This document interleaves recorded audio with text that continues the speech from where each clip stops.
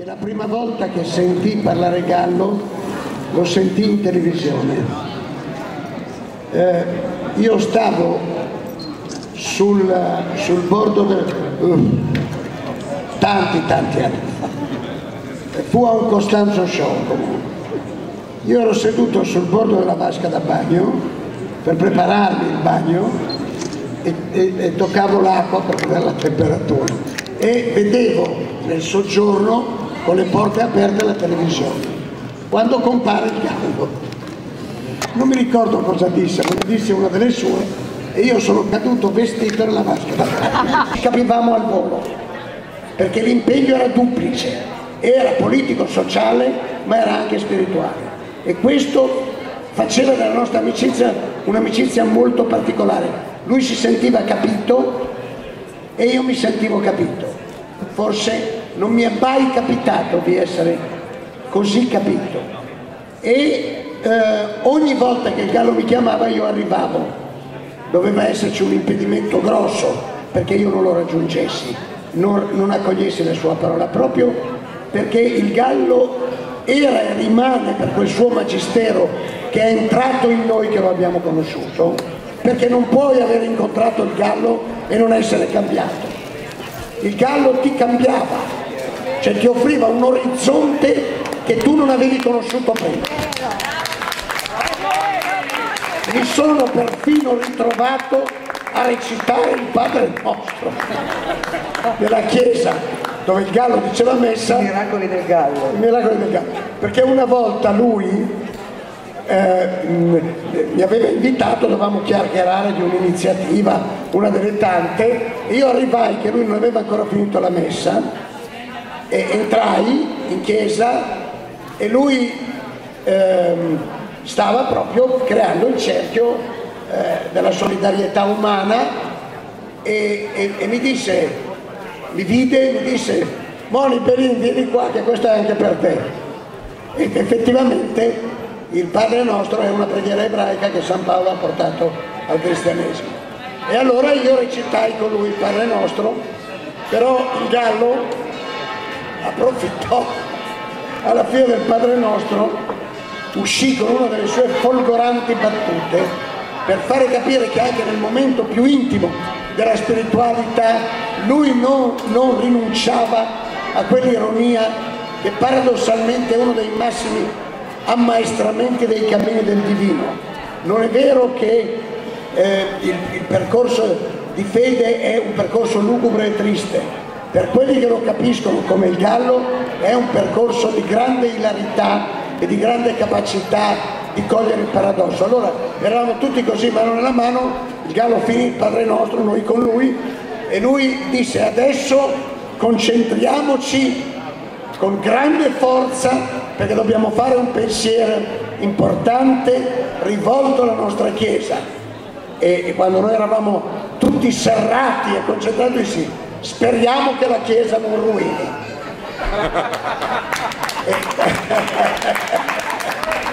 allora, come, come, come, posso dire, ecco, avevamo questa complicità perché lui sapeva fare umorismo e ironia su ogni cosa, prima di tutti su se stesso, e non risparmiava neanche eh, a Gesù e al buon Dio la sua ironia. Questa è anche una grande lezione ebraica, si può ridere anche del Padre Eterno, anzi c'è un bellissimo racconto che un midrash talmudico che io raccontavo al Gallo che si intitola Dio ride. E Dio in quella circostanza ride di se stesso per aver ficcato il naso dove non doveva, è un paradosso ovviamente, ma il Gallo lo capiva, il Gallo capiva. No, so, veramente non mi sono mai sentito tanto capito in vita mia, perché con, con i compagni di militanza eh, politica, nella sinistra, mi sono sentito capito, compa eravamo compagni e allora ci si Però sentivo che a molti di loro mancava la dimensione spirituale. Il Gallo mi capiva anche questo, era un compagno, ma era anche un uomo ovviamente di spirito, ma non solo come prete cattolico, era un grande cristiano e in questo lui accoglieva l'universalità della condizione umana. Infatti era molto bella eh, questa cosa che aveva Andrea proprio di incarnare eh, sempre le, le, cose che diceva e che è fondamentale, no? forse questo eh, è anche l'esempio eh, e che poi i dettami della Chiesa, della Chiesa cattolica con cui gran parte di noi qua in Italia eh, è cresciuto, in qualche modo eh, raccontano altre cose di quelle che si vedono in giro nella gerarchia ecclesiastica e che quindi il Don in qualche modo eh, incarnasse quegli ideali de della Chiesa originaria, insomma, de della, della, parola di, di, di Gesù. Io credo io credo in questo che lo scandalo che suscitava il Gallo con le sue affermazioni provocatorie eterodosse non sia molto dissimile da quelle che suscita adesso Papa Francesco. Ecco, infatti era una delle cose che eh, mi ero eh, preparata appunto delle domande da fare eh, a Moni eh, il, il Don era molto favorevole al sacerdozio femminile, era molto favorevole, l'ultima volta che l'ho intervistato in pubblico è stato l'8 marzo eh, nella, eh, nella alla Lanterna eh, e eh, abbiamo molto parlato a lungo del sacerdozio eh, femminile e anche di una donna eventualmente Papa, ecco, e lui chiaramente era molto d'accordo. Ecco, Cosa, quale sarebbe stato oggi il rapporto di Papa Francesco con Andrea? Si sarebbero incontrati? Si sare... Cosa sarebbe successo in un'ipotesi possibile di un Andrea che eh, è ancora qua eh, tra noi? Io ho scritto un articolo sulla stampa in cui mi rivolgevo indirettamente a Papa Francesco per, non dico proporre la santificazione di Don Gallo, che credo correrebbe il rischio di provocare scisma, uno scisma della Chiesa Cattolica, ma perlomeno che Papa Francesco rivolgesse, magari nella famosa finestra, un pensiero a questo straordinario prete che sapeva distinguere una cosa fondamentale. Questo vale per tutte le fedi. Il Gallo distingueva la fede autentica, la grazia della fede, la spiritualità dal potere. Lui nella Chiesa combatteva le forme del potere. Quando cercava la sua Chiesa, cercava la Chiesa liberata dalle forme del potere, dall'intrusione del potere. In questo era eh, eh, eh legato al messaggio evangelico originario e ne aveva una, non so come dire, una, una concezione e una visione così straordinaria che si permetteva per questo di essere irrituale, perché lo diceva in modo schietto, ma cosa faccio io? Io seguo il solco tracciato dal Cristo. Era molto semplice. Il problema è che laddove il potere intrude col messaggio originario sembra che quel messaggio diventi sovversivo, pericoloso. Ma una volta il Gallo lo disse in modo super rituale, ricevevamo un premio insieme qui in Liguria e, il Gallo per spiegare il cristianesimo disse che Gesù aveva tracciato un cammino e dice se vuoi non era la fondazione di una religione, l'ha detto benissimo Don Albino, era la fondazione di un cammino, un percorso dove tu incontravi l'essere umano nella sua verità ultima. Il Gallo, per fare capire che non era una religione, non doveva essere un'imposizione, disse così, insomma Gesù ha tracciato questo cammino, è rivolto agli uomini e ha detto, se vuoi segui questo cammino e troverai le cose che questo cammino ha aperto, e se no va a cadere. Ovviamente uno che si esprime in questo modo non lo fa per fare la provocazione banale. Quel dire non sono qui a corteggiarti perché tu diventi un baciapile e ti batti il petto. Io sono qui a, a dirti mettiti in cammino verso l'essere umano, mettiti in cammino verso te stesso per redimerti dal potere, per redimerti dall'arroganza, dalla violenza.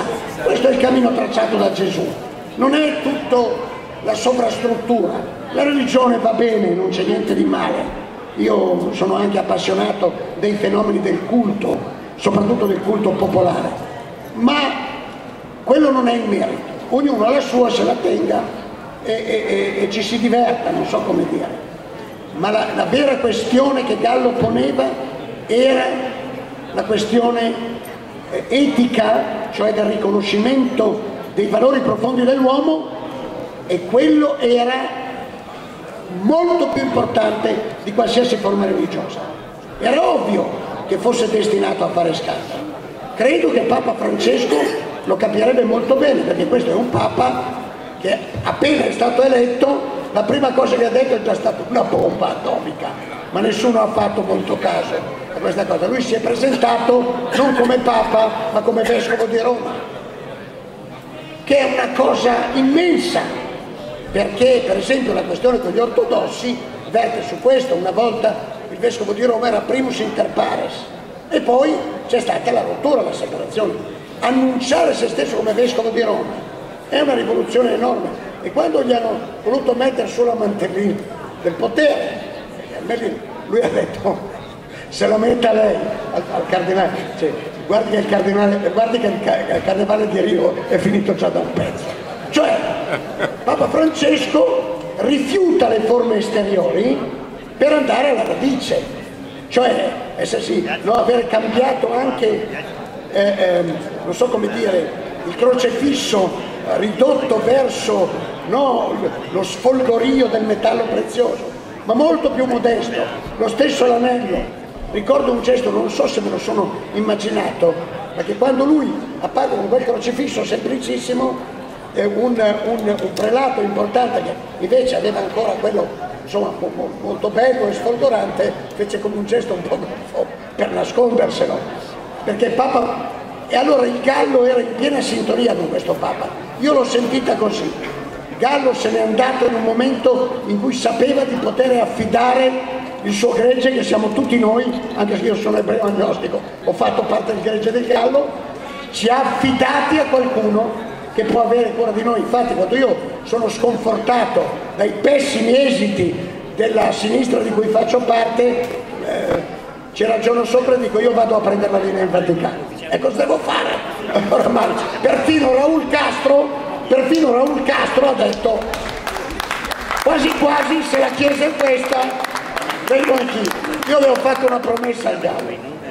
Gli avevo detto Gallo se ti fanno papa ci penso seriamente a convertire. Papagallo. E lui Papa... disse, non c'è pericolo, a me Papa non mi faranno mai, perché sarebbe indecoroso avere come Papa Papagallo. Mi ricordo, lo, lo, disse anche in scena allo stabile nei suoi spettacoli, raccontandolo come sapeva raccontare lui e eravamo tutti piegati da ridere, tanto per cambiare.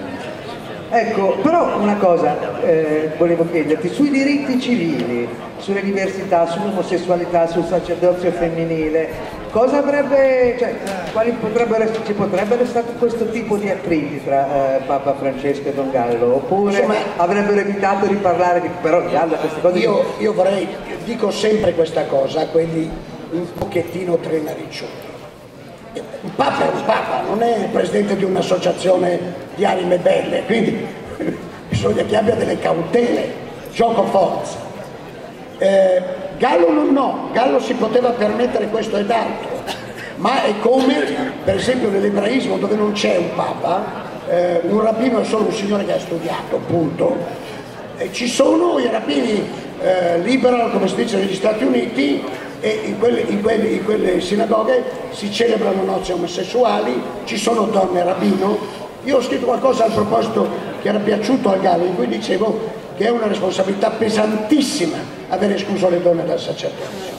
Certo. Eh, il, il, il, la misoginia, la violenza contro le donne ha una sua radice in questa esclusione purtroppo e di questo sono colpevoli ebrei, cristiani, musulmani. Perché? perché nella creazione della donna, ne parlavamo spesso, eh, nella creazione dell'essere umano, la, la, prima narrazione nella Bibbia compare in questa forma, lo creò, maschio e femmina li creò, cioè l'essere umano è creato in due aspetti ma ha la stessa dignità, hanno la stessa dignità, non c'è differenza. Quella è la seconda narrazione. ma quella è la narrazione più equivocata della storia delle religioni. Secondo me, la seconda narrazione ci dice che viene presa una parte dal maschio per metterlo nella femmina. Allora, facciamoci alcune domande. Noi possiamo quello più complesso. E qual è l'ultimo creato? La donna. Cioè la donna è l'essere più complesso, il più vicino al divino. Assolutamente. E perché l'uomo viene addormentato? Il futuro maschio. Perché Dio trasferisce alla donna il suo statuto più, eh, come posso dire, più fondativo, cioè la capacità di creare. Allora perché mettere una parte del maschio nella femmina? Perché se il, eh, eh si fa un'operazione doppia, si mette un elemento maschile nel femminile e si scava un elemento femminile eh, eh, nel maschile, cioè quella, quella, parte, in ebraico è, è, è fianco, non costola, e viene tolta, è come se si aprisse nel maschio una sorta di utero. E quindi la relazione diventa possibile perché se no la femmina generatrice sarebbe stata così potente che per il maschio non c'era gara, altro che invidia del primo. Cioè mi dispiace con tutto rispetto per Sigmund Freud, ma cioè, allora la donna viene posta, la parola ebraica che pone la donna rispetto all'uomo eh, è kenegdo, non di fianco, non in subordine, ma la parola è contro. Cioè la donna viene posta di fronte perché fra i due ci sia una relazione dialettica e chi ha una relazione con una vera donna lo sa quanto deve sputare fatica per reggere il confronto, perché il maschio è sempre soccombente se non ricorre alla violenza. Se accetta il confronto sul piano eh, dialettico, se accetta il confronto sul piano dei sentimenti e dell'interiorità, non c'è dubbio che la parte maschile sia più fragile di quella femminile. Allora, l'avere sottratto alla donna il sacerdozio è stato una forma di intimidazione perché altrimenti c'era troppa paura del femminile. E sempre la violenza, la calunnia, la brutalità nasce dalla paura. Nessuno è violento se non ha paura. È un, un violento è un uomo terribilmente spaventato dalla vita, un uomo autenticamente forte, o donna uomo, non ha bisogno di ricorrere alla violenza. Il maschio era intimidito di fronte a questo eh, miracolo del femminile e ha scelto la via tipica dell'umanità, che è quella della violenza. La stessa cosa fra fratelli. Perché Caino ammazza Abele? Non perché è cattivo, ma non regge il confronto con l'altro, perché Abele è l'altro, è quello che è arrivato secondo. Con Gallo ragionavamo su queste cose in continuazione e io trovavo grande alimento nella sua, come posso dire, nel suo coraggio perché il Gallo era un uomo di un coraggio straordinario, cosa di cui il nostro paese ha un deficit spaventoso. Il tasso di opportunismo e di vigliaccheria di questo nostro paese non ha uguali nel mondo civilizzato. Il Gallo no, il Gallo non si faceva intimidire, non aveva paura di niente, non aveva neanche paura della sua fragilità fisica. È andato in giro a portare la sua parola, il suo conforto, la sua amicizia, la sua capacità di sovvertire con la dolcezza, con la grazia dell'umorismo, come, come Guevara che diceva senza mai dimenticare la tenerezza. Il Gallo incarnava questo tipo di, di ideale e io mi sentivo confortato da lui. E continuo a pensare Andrea, adesso che siamo confrontati con cose terribili con il montare di nuovo di un populismo eh, xenofobo, pararazzista, eccetera, eh, ricordarmi la franchezza e il coraggio anche fisico con cui affrontava queste situazioni, perché non, non, ave, non le mandava a dire, era sempre in prima linea, in prima persona. E poi Gallo aveva una cosa, non so questa se gliel'ho mai detto, è una cosa che nessuno sa di Karl Marx, che quando le figlie facendo giochi di società chiedevano al grande filosofo rivoluzionario, papà, ma cos'è per te la felicità? Marx immancabilmente rispondeva, felicità per me è lottare. E Gallo era felice quando si batteva per gli ultimi. Gallo era felice quando si metteva a disposizione dell'antifascismo, dei diritti civili, dei diritti sociali, con la stessa passione di quando portava la parola del Cristo. Era, era un, una, una, un solo sentire. Grazie Moni per le bellissime parole che hai speso per il femminile, che ho sentito dire cose così importanti per eh, noi donne in pubblico e devo dire che in effetti in questo paese un po' vigliacco, come hai appena detto, è abbastanza difficile che trovare intellettuali, attori, gente dello spettacolo che abbiano uh, una chiara e netta posizione nei confronti del femminile. Grazie per le bellissime cose che ci hai detto e ci continui a dire del Gallo. Ecco, abbiamo parlato di Papa Francesco, abbiamo nominato eh, Raul Castro, abbiamo nominato Che Guevara e la sua dolcezza. Forse non tutti sapete che, forse oggi, forse domani, sta arrivando in Liguria Peppe Mujica sta venendo dalla Spagna dove è stato in visita per, suoi, eh, eh, per eh, conoscere il posto di nascita dei suoi nonni paterni e sarà domani e dopodomani a Favale di Malvaro per conoscere il paese dei suoi nonni materni. A me un'altra persona, un altro piccolo grande uomo che appena a parlarne mi commuove. Sono stato in Uruguay quest'estate e tutto il paese parlava di lui, ma non solo la gente, proprio il paese parlava di questo personaggio.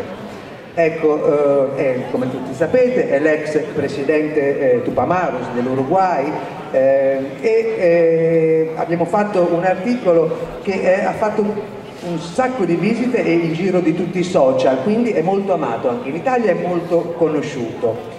Ecco, ehm, e è stato il, uno dei presidenti del mondo più amato eh, negli ultimi anni in, tu, tutto, in, tutto, il mondo, il New York Times anche gli ha dedicato una copertina e la sua frase che mi è rimasta più impressa e che mi commuove a dirla è povero non è chi possiede poco, ma chi desidera avere sempre di più. Ecco, un personaggio esemplare Mujica, molto simile al gallo, secondo me. Ecco, secondo te, se si fossero incontrati a Favale di Malvaro, magari anche con Amanzio Pezzolo che era un grande amico del Gallo, vicepresidente della compagnia dei portuali che era anche lui di Favale di Malvaro con tanti parenti immigrati in Argentina. Cosa si sarebbero detti il Don e, eh, e Pepe? Ma eh, diciamo che se il Don fosse stato, eh, fosse stato presidente di un paese sudamericano sarebbe stato come Mujica. Sono quegli uomini Infatti, che hanno un, un hanno fondamentalmente una passione eh, insopprimibile per l'umanità e sanno che l'umanità non si trova né nelle stanze del potere né nei luoghi della ricchezza. Noi abbiamo commesso alcuni errori, molti, ma una grandissima perversione. Pensare che la povertà sia un handicap. Guardate, povertà non miseria, parliamo di povertà, cioè nel senso di eh, sapere che ciò che hai non è ciò che ti qualifica, ciò che ti qualifica è ciò che sei. E soprattutto ciò che ti qualifica è la tua capacità di riconoscerti nell'altro. Per il Gallo era automatico, per Mujica lo stesso, sono persone che hanno una tale passione per la giustizia, per la giustizia sociale, hanno passione per gli ultimi, non per esercitare eh, una sorta di pelosa eh, carità o generosità paternalistica. Hanno passione per gli ultimi perché sanno che lì si trova il cammino della verità, sanno che lì si trova il nodo di svolta per un'umanità che vuole essere redenta da se stessa e essere redenta dall'aver fatto una scelta catastrofica. Questa umanità, soprattutto quella occidentale, quella che domina, ha scelto eh, le deiezioni e i rifiuti invece del messaggio. Il consumismo è una ossessiva produzione di rifiuti. Non so, lo, vede, lo vediamo nelle nostre spazzature. Un vortice di sacchetti di plastica. Siamo, impressionante cosa produciamo di spazzatura. E questa spazzatura in realtà non è solo l'oggetto, ma è ciò che noi frappeniamo fra noi stessi e il messaggio. C'è un bellissimo racconto di Kafka, di cui parlavo al Gallo, che si intitola Un messaggio dell'imperatore. È una parabola sul Messia, un po' alla maniera ebraico-cassidica, cioè Kafka dice che un imperatore morente manda un messaggio all'ultimo degli ultimi dei suoi sogni proprio la più remota ombra sperduta nella più lontana delle lontananze, ma il messaggio è per lui. Allora il messaggero, che è bello, vigoroso, ha il sole imperiale sul petto, ascolta il messaggio, lo ripete all'orecchio del re, il quale dice sì, e questo è il messaggio, e poi parla. Ma Kafka ci dice non ce la farà mai ad arrivare, perché i palazzi della residenza imperiale sono talmente innumerevoli che come si fa a attraversarli tutti? E poi dopo ogni palazzo c'è un cortile, e poi un altro palazzo, e poi un altro cortile. Che cosa sono? Sono i palazzi e i cortili del potere. Ma anche, dice Kafka, se il messaggero riuscisse a uscire dall'ultima porta dell'ultimo palazzo, si troverebbe davanti la città imperiale ricolma di tutti i suoi rifiuti. Nessuno riesce a passare di lì, dice Kafka, tantomeno con il messaggio di un moribondo. Certo, se camminasse all'aperto, tu, ultima ombra sperduta, sentiresti i vigorosi colpi della sua mano battere alla tua porta per portarti l'annuncio. Ma invece il messaggero si affanna inutilmente non ce la farà mai, ma tu alla sera ti siedi davanti alla finestra, guardi il cielo che volge al tramonto e aspetti il messaggero con il messaggio. Questa attesa è un po' il senso del messianesimo, costruire l'attesa e il gallo ti permetteva di costruire l'attesa.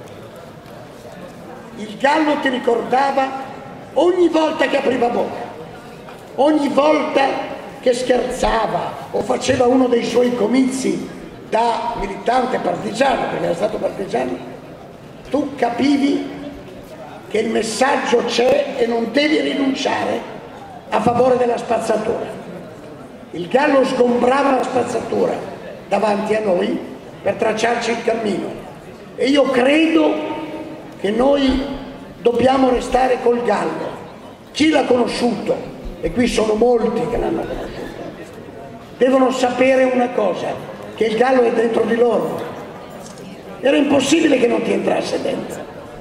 Come facevi a non essere catturato, a non essere, eh, a non innamorarti, lo dico nel senso più laico del termine, di quell'uomo minuto che sprigionava una forza di cento titani, non so, non so come dire. E poi quell'uomo sprigionava questa forza e poi improvvisamente calava in una delicatezza fragile. Io ricordo che mi commossi alle lacrime quando lui mi raccontò di sua madre che venne a sapere che lo chiamavano il prete rosso, il prete comunista. E allora la mamma, malata, diventata una donna piccina piccina, gli domandò, Andrea, ma tu sei comunista? E lui disse, sì mamma, ma Andrea, ma tu sei un figlio di Don Bosco? E lui disse, sì mamma. Non c'era contraddizione. Non c'era contraddizione. Questo vuol dire essere santi, sapere tenere le contraddizioni che redimono. E il Gallo da questo punto di vista non aveva eguali.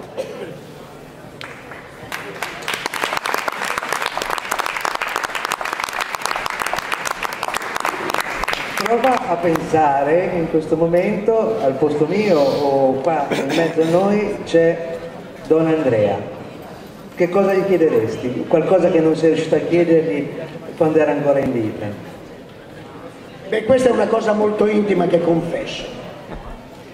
Quando la Chiesa era nei momenti che Gallo trovava più deprecabili, lui faceva una cosa molto giocosa con me veniva ai miei spettacoli, veniva sempre. Poi alla fine veniva da me, ci abbracciavamo e lui dopo si staccava un po', piegava il ginocchio e mi diceva, eh, Moni, benedicimi tu che nella mia chiesa non ne trovo neanche Naturalmente era una buttata ed era un gesto di amore che aveva nei miei confronti. Ecco, se lui fosse qui io gli direi tranquillo, tranquillo Gallo, la mia benedizione ce l'hai di default.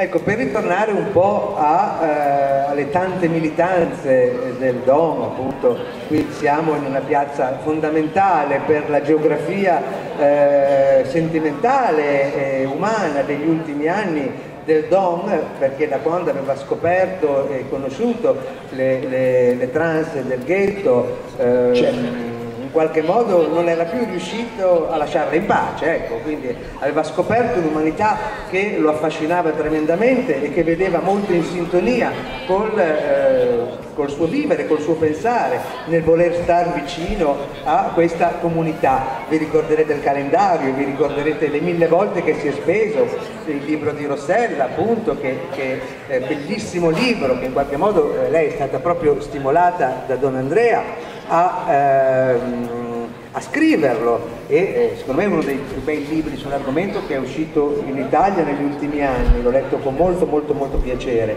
E ehm, ecco, eh, si era schierato famosissimo, ce lo ricorderemo tutti, forse alle, sulle cronache nazionali è apparso quando ha fumato il primo spinello in pubblico, no? eh, allora fece uno scandalo, uno scoppio di anche attenzione nei suoi confronti, un po' come quando Mujica ha fatto quel discorso al, ai 20 eh, del, dell'ONU, no? mi pare che era in quel contesto in Brasile. Eh, non mi ricordo. Al G20, ecco, al G20 eh, eh, sì, appunto, aveva fatto questo discorso rivoluzionario per un presidente, eh, ognuno ha il suo punto no, di rottura in cui poi alla fine diventa estremamente popolare e poi ultimamente si era ehm, schierato eh, contro le slot machine, ci stava perdendo il cuore contro tutti questi centri che aprivano a San Pier Arena, eh, con tutta la comunità, stava portando avanti parecchie eh, discussioni e lotte per eh, fare in modo che non, non, continuassero a proliferare questo tipo di eh, luoghi d'alienazione in un momento di crisi come quello che è italiano. Ecco, oggi, oggi quale nuova battaglia si sarebbe inventato, nel senso che non se ne inventava, erano cose vere, erano cose vive, erano cose importanti, però cosa si sarebbe inventato in questo momento? Quale altra battaglia avrebbe portato avanti? Quale nuova battaglia col governo Renzi, col Job, Job? Che cosa gli sarebbe venuto in mente, saltato per la testa, a parte chiaramente portare avanti sempre tutte le battaglie che negli ultimi 20, 30, 40, 50 anni dalla resistenza in poi sono sempre state le sue? Io credo, io credo che sicuramente Gallo sarebbe stato particolarmente coinvolto da questa nuova ondata ehm, della cosiddetta questione immigrati. Credo che questo l'avrebbe coinvolto in maniera potente. Eh, la radicalità con cui lui affrontava le questioni l'avrebbe portato anche a opporsi con tutte le sue forze al Jobs, Job Act, come diavolo lo vogliono chiamare, ehm, perché c'è qualcosa di cui Gallo era portatore integrale. Noi non sappiamo e non abbiamo in fondo mai saputo leggere i grandi libri eh, come la Bibbia o il Vangelo. C'è un comandamento che tutti conoscono e ripetono come una stupida litania amerai il prossimo tuo come te stesso. È il supercomandamento dei monoteismi, è Levitico 18-19. L'ebraico suona così, Beaftali erecha kamocha, e amerai per il prossimo tuo come te stesso. E la parola era non vuol dire quello che ti sta vicino, cioè il tuo compaesano, il tuo compatriota. È il volto di colui che ti viene incontro, è l'assunzione della responsabilità del volto dell'altro. Quando il Gallo appoggia la causa per il pieno riconoscimento dei diritti di gay, lesbiche e trans, non fa altro che mettere in campo il precetto. Guardate la lungimiranza dello scritto biblico. Non è detto come deve essere il prossimo tuo. Non è detto amerai il tuo prossimo bianco, cristiano, ebreo, musulmano, giallo, verde, trans, eh, etero. È detto semplicemente ereata, è il volto dell'altro. Non questa esclusione o discriminazione è uno, è uno sconcio senza limiti e per questo il Gallo si era impegnato in prima persona perché è un fullus lo statuto dell'essere umano chi lo decide? quattro politici idioti che cos'è un essere umano? sulla base di leggi perverse degne delle leggi di Norimberga allora io credo che il Gallo aveva questa integralità nel cercare l'uomo e nell'accogliere l'uomo e questo sarebbe stato un problema fondamentale perché non è quello che Don Andrea aveva già conosciuto. Adesso c'è uno spostamento ulteriore. Adesso non si ha paura a dichiarare, anzi c'è un, un partito che sta facendo fortuna su questo, che l'altro che viene scacciato dalla fame, disperato dalle guerre, dagli assassini di massa e che viene verso di noi, sia un pericolo. E questo è un, prima di tutto una menzogna, grande come il Monte Everest. Il Libano ha 2 milioni di abitanti, ha un milione di rifugiati. Certo, ci sono stati. Allora, tutte queste cose servono solo a politici senza scrupoli per raccattare voti. Naturalmente molti elettori sono fragili, hanno paura. La paura è il sentimento dei sentimenti più forti che domina e agisce l'essere umano.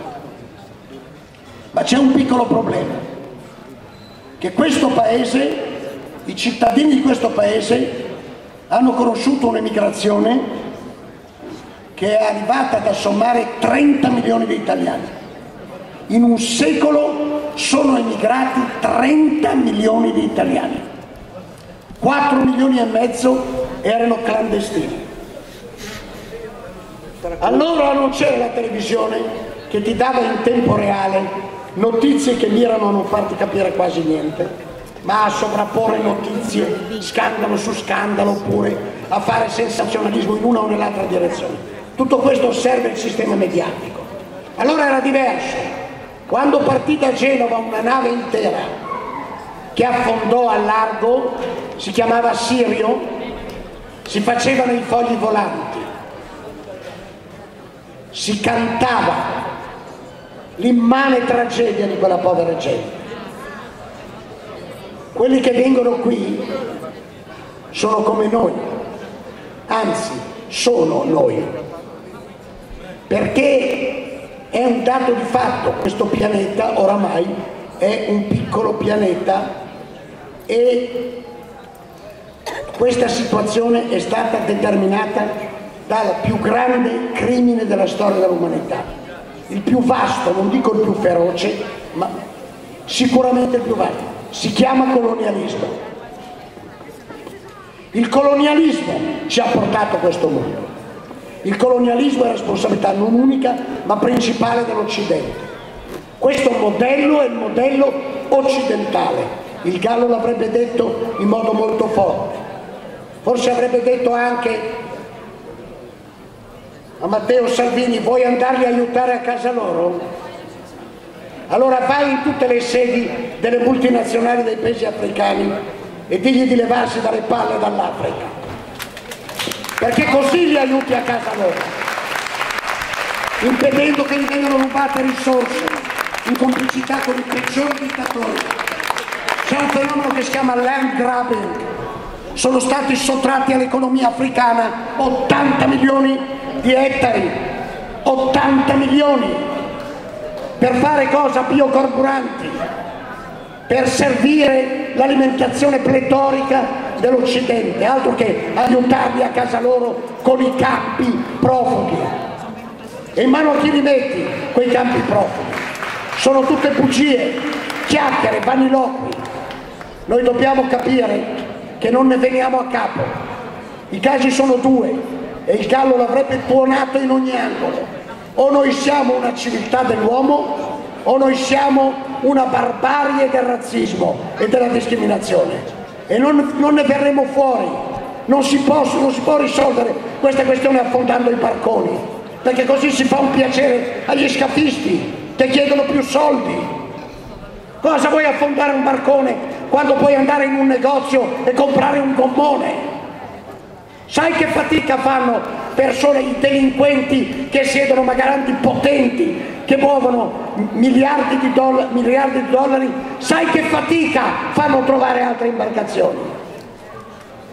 È una retorica falsa, è il gioco delle tre carte.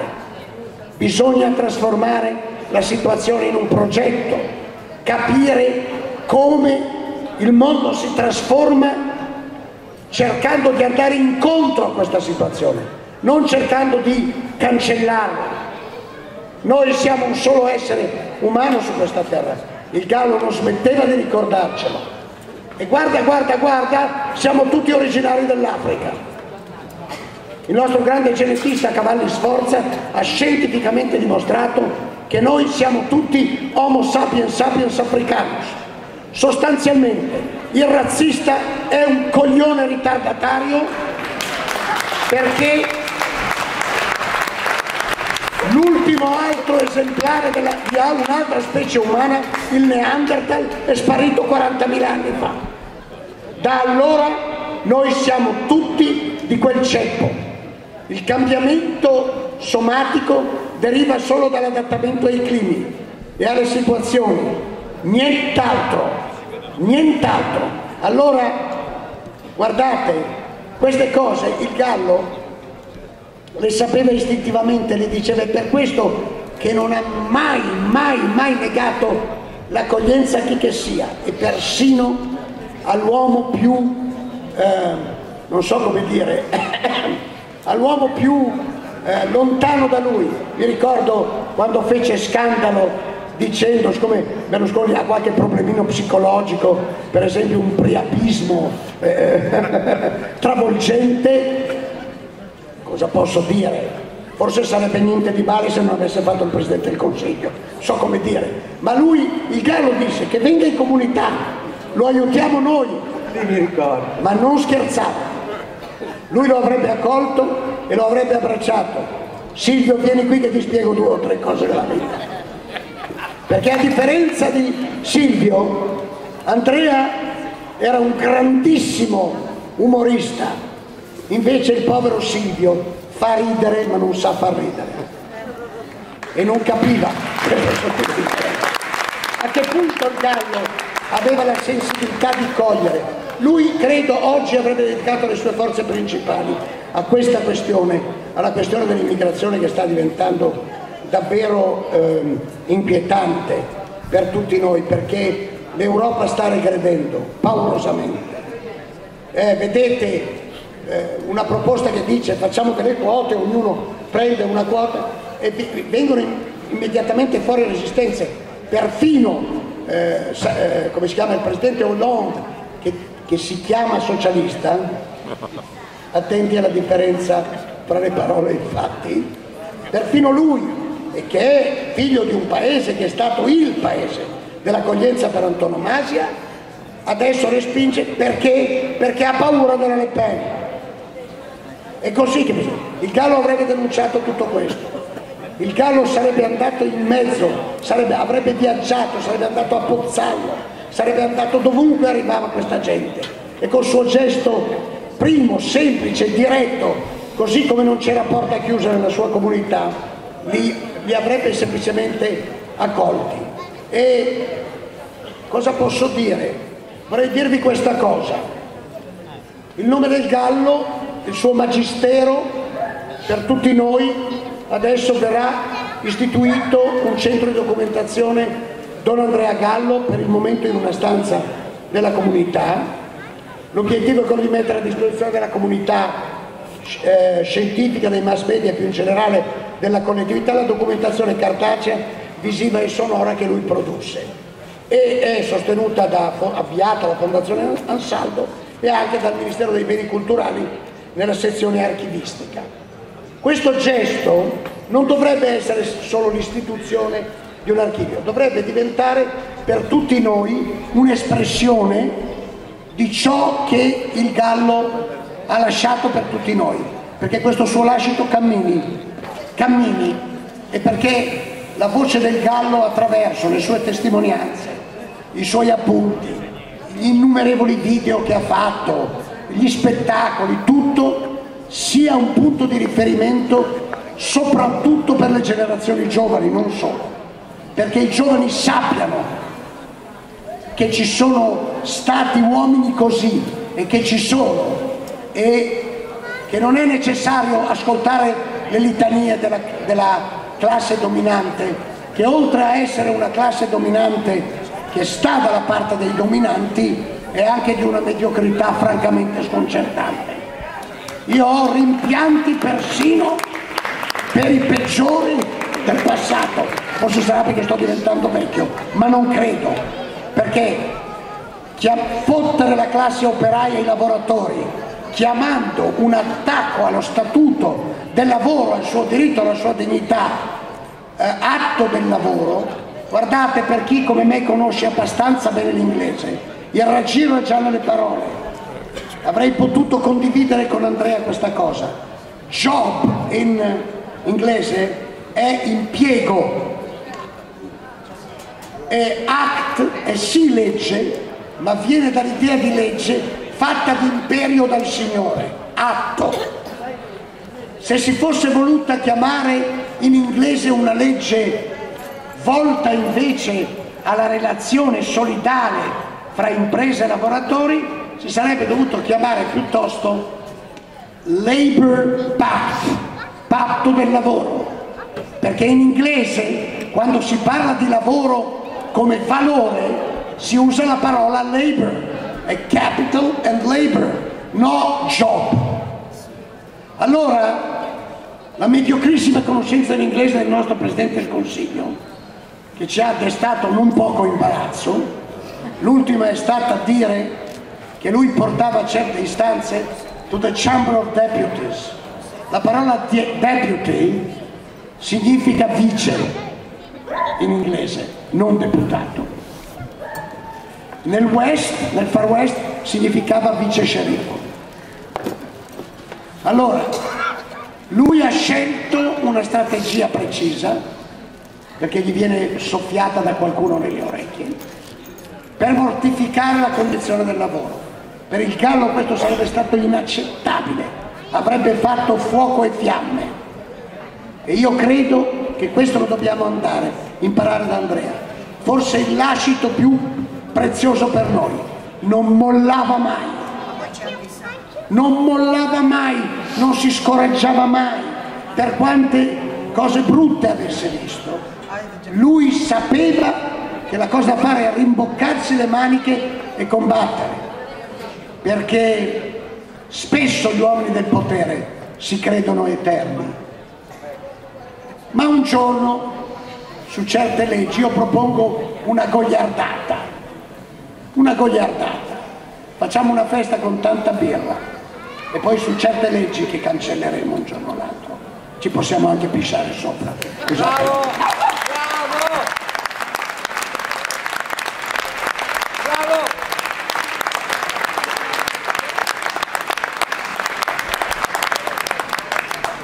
io farei un'altra domanda ancora e eh, poi magari concluderei oppure magari continuiamo. Però eh, qui dietro c'è Faber eh, che incombe su di noi con uno striscione. Ecco, se esistesse questo paradiso eh, e si fossero incontrati eh, Faber e il Don, cosa si sarebbero raccontati secondo te Mani? Eh, io credo che per prima cosa avrebbero bevuto. Anche io, anche io penso, sì sì, certo. Avrebbero Non birra.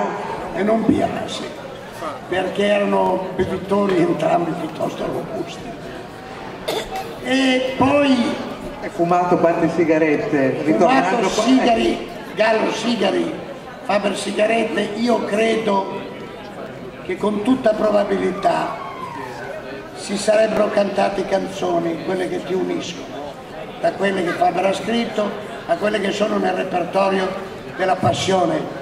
Ricordatevi che il Gallo finiva sventolando un drappo rosso col Bella Ciao e non disdegnava neanche l'internazionale del lavoro, inno onorato, onorato, che i pavidi e coloro che si vergognano di ciò che sono stati oggi nascondono.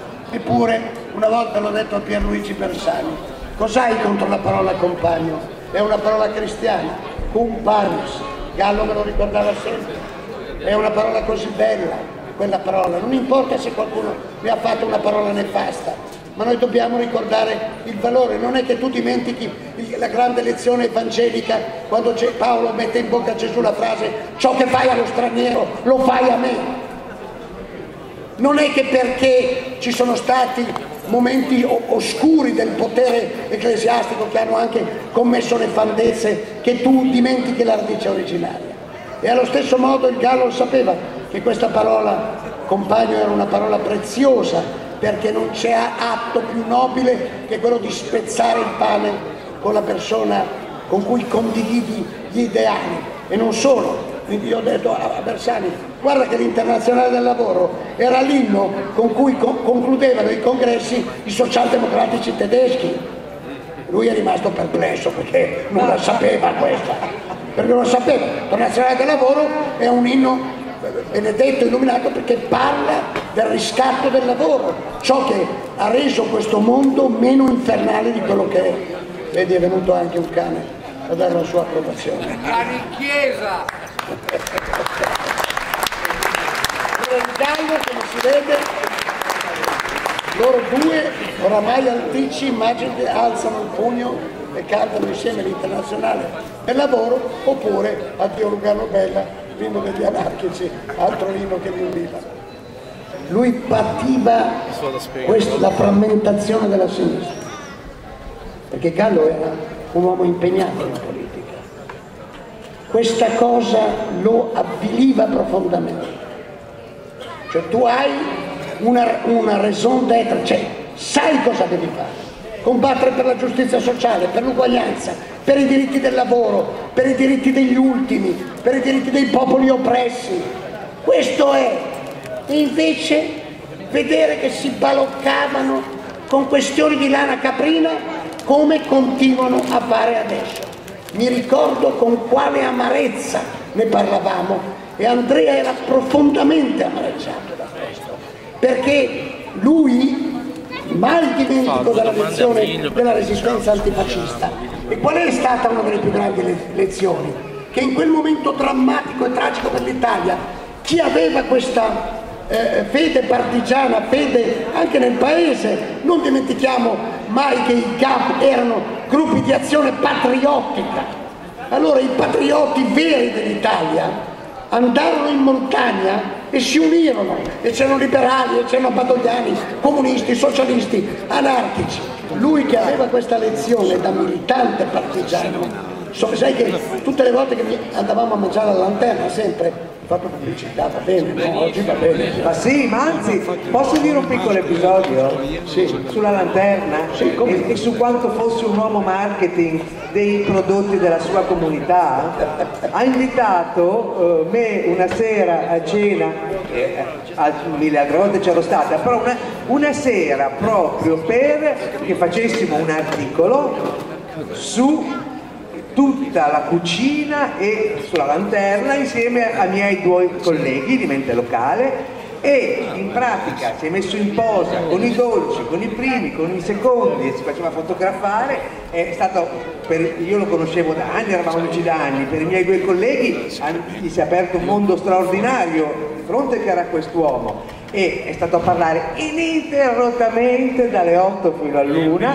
non, non assolutamente solo del ristorante, però di tutto quello che lui parlava, quali erano i suoi cavalli di battaglia, le cose che sentiva, le cose che amava di più, però eh, alla fine gli abbiamo fatto tutte queste foto con i piatti, con, cioè proprio sembrava un, poi quando è uscito questo articolo è stato visto tantissimo perché ovunque si parla del gallo ed è servito tantissimo perché poi anche Domenico mi disse che il, la settimana o due settimane dopo il locale si era riempito. Ecco era anche un uomo marketing per la sua comunità certo. no? in maniera chiaramente molto alla sua maniera, sua maniera mi cadono gli occhiali di consiglio mi per terra e... comunque il gallo quando mi invitava alla lanterna sempre no, si mangiava lì.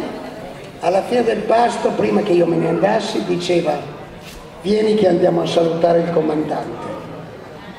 Noi ci alzavamo con aria di rispetto, andavamo nella sala a fianco dove sedeva il comandante che era il fratello di Gallo, perché il comandante era suo fratello. Tu sai, no, questa cosa lì.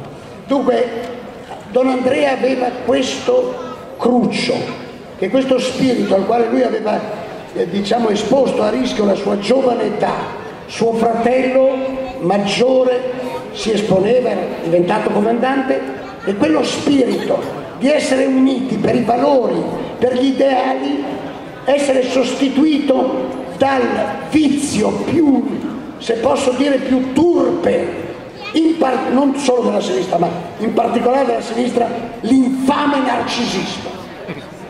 Non, questa era una cosa che affliggeva il gallo perché noi combattiamo le battaglie politiche per gli altri, non per vendicare noi stessi o il piccolo identitarismo.